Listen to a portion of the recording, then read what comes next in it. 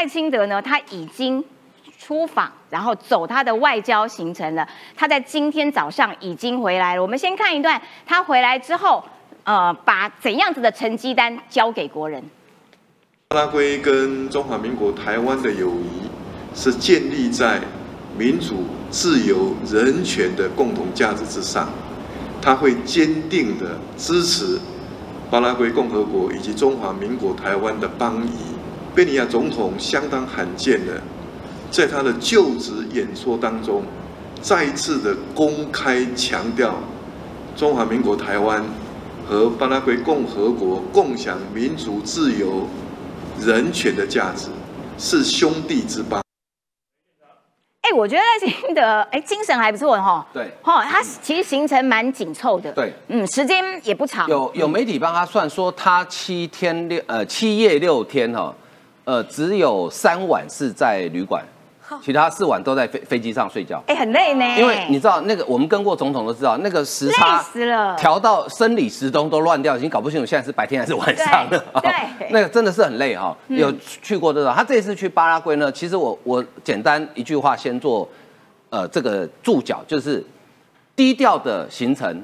但是得到了丰硕的成果。我还以为你要说巴拉圭嘛，就是有呃，接下来会直通我们新足球场。对，那个叫做对指点 哈，地理小常识啊。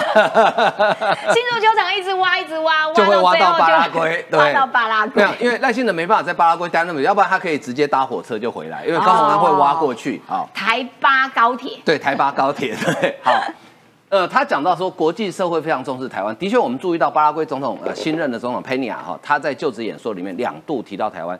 这个其实在其他国家元首的就职演说里面很少说会提到一个另外一个国家提到两次。哎，对，这非常不容易。这表示说，呃，巴拉圭真的非常感谢台湾这几十年来给他们的协助啊。那因为我去过两次巴拉圭，我自己感受到。巴拉圭人真的好喜欢台湾人，真的，你有去过？我没去过。我去过两次哦。你走走在路上啊，他们觉知道你是台湾来，都非常的热情啊。因为我们台湾跟中国最大不同是，中国我去跟你建交，其实我是要掠夺你的资源。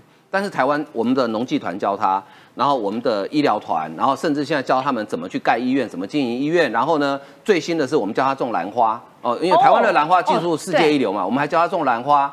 所以，然后我们还有和成立一个叫台巴科大，嗯，那台巴科大呢，他们的巴拉圭学生会到台湾来学学一些比较理工科的，哦，然后回去之后贡献他们的国家，所以他们真的很感谢台湾，我们是真心在交这个朋友，哦，所以呢，他说，呃，将来我想，呃，在佩尼亚任内，哈，呃，台巴之间的邦交应该基本上大家可以不用担心，啊，就是将来会有进一步，嗯，但是我觉得接下来这个动作就很有趣了，哈，呃，刚好很巧。雷根号航空母舰打击群正好在台湾东部海域。哦，呃，我听了美国海军的发言人讲，他说，呃，这个雷根号呢，他现在在呃西太平洋地区，然后呢，通，因为他刚参加完澳洲大规模的演习。那雷根号它的母港其实在日本横须贺，嗯，那从澳洲往北，如果假设要回母港，的确会经过台湾的东部外海。对，好，但是他会在那边待多久？美国海军告诉你说，我不知道。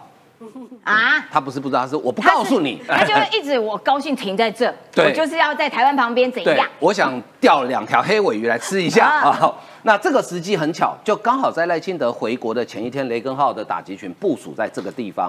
你说他是巧合吗？我不觉得是，我认为他是故意的。他是故意的巧合啦。对，故意的巧合，就是说我雷根号就摆在这里。对，那你给他谢周丽来。嗯，好，那罗森伯格这个也是这一次的假新闻的。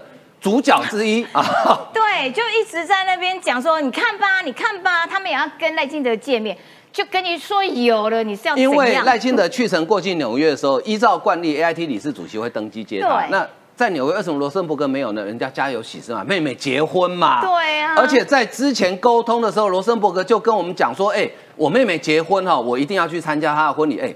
人家妹妹结婚，你去参加婚礼有错吗？对啊，就就被讲成说，你看这样规格其实没有，所以他昨天在旧金山的时候立刻加码，他说，台湾是美国致力维持全球和平稳定的重要伙伴，美国协助台湾提升自我防卫能力的决心坚若磐石。人家就讲得清清楚楚。